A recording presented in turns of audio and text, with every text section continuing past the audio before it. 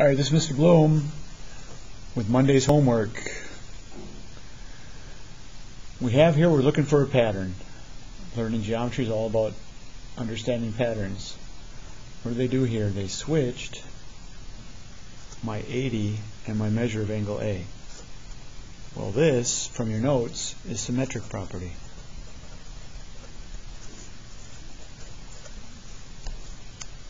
Next one, if RS equals TU and TU equals YP, then RS equals YP. Well, TU is my middleman.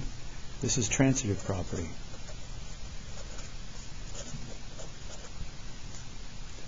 Right here, we're looking, we're solving for x.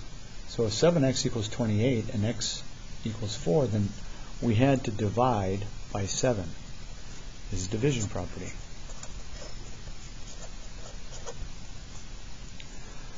This one is VR plus TY, those are distances, equal EN plus TY.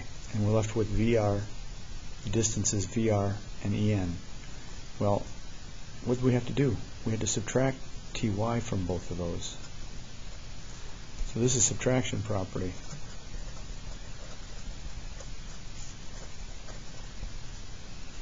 If the measure of angle 1 equals 30, and the measure of angle 1 is equal to the measure of angle 2, well, then the measure of angle 2 must be equal to 30. So what we do? We just did substitution property there.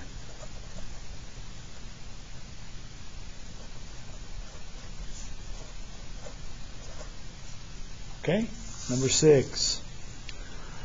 Reflexive property. Remember, reflexive comes from, think of reflection in your mirror. It looks exactly the same. So this is going to be, look exactly the same. Transitive property. That's our justification. So if A equals, if measure of angle A, or angle A is congruent with angle X, and angle X is congruent with angle T, then angle X is our middleman. So our statement is going to be angle A is congruent to angle T.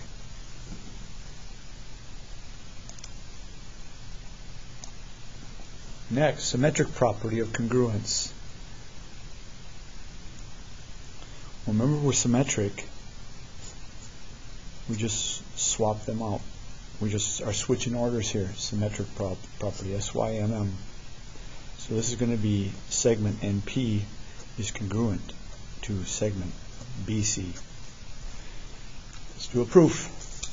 Let's do our first proof. Number 9. Given this, prove that x equals 1. So here's our statement. This is what we started with. This reason is given. So now what did happen here? Well, they subtracted 2x. They subtracted 2x. So this is subtraction property.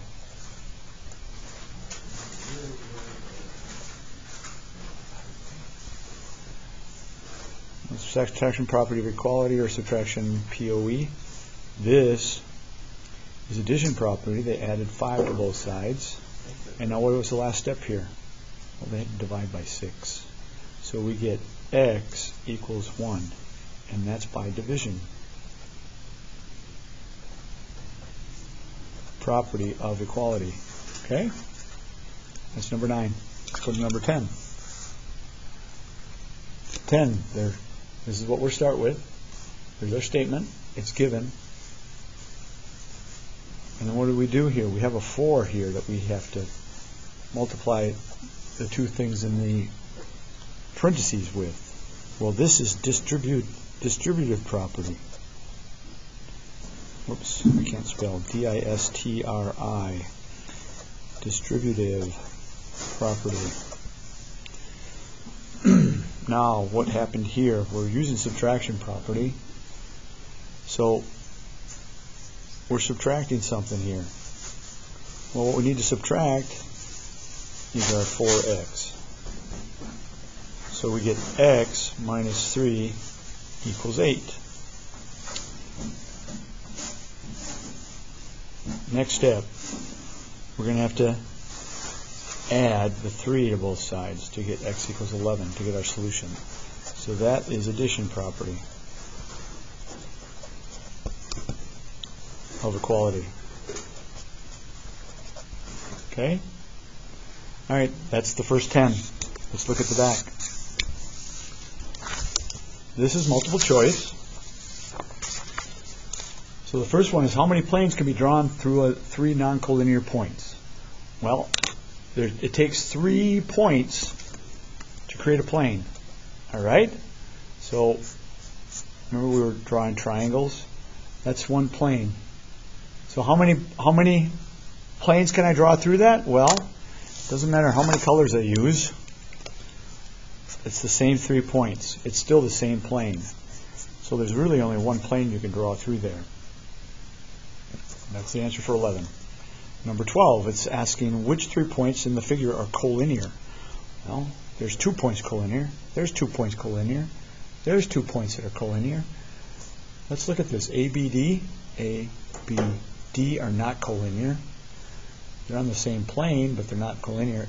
A, B, C are not collinear. They're on the same plane P. E, C, A. E, C, A. Again, they're on the same plane P, but they are not collinear. So F, E, G is the only only one that could put, could work. F, E, G. That one works. They're collinear. There's my G. There's my E. There's my F. They're on along this line. Next one. Name the intersection of plane P and the plane that contains point BCD. So the plane that contains BCD is right here. B, C, D.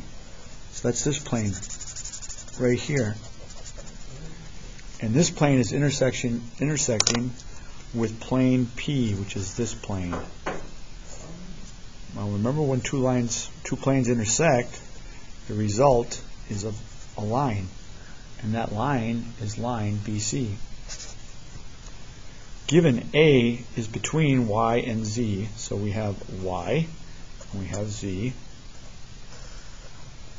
and A is between there somehow. Uh, YA is 5.5, AZ is 2x, and the whole thing, YZ, is 41.5. So this is part plus part equals whole. So let's put this, plug this in. 5.5 plus 2x equals 41.5. You So let's subtract 5.5.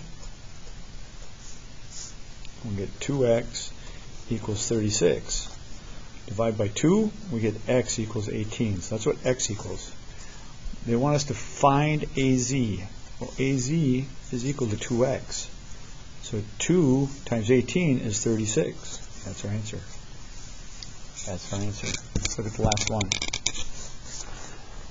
Find the length PQ using the diagram to the right. So PQ, we want to find this. This is our question mark. Well, this is part plus part equals whole. So the question mark plus 12.6 equals 38.3. Right? So we want to solve for the question mark, and to do that, we have to subtract the 12.6. We subtract 12.6. We're going to borrow from the 8. So that's 13. That's 7. That's 5. So 25.7 is our answer. All right, this is Mr. Bloom, Paetow High School. This is the homework from Monday.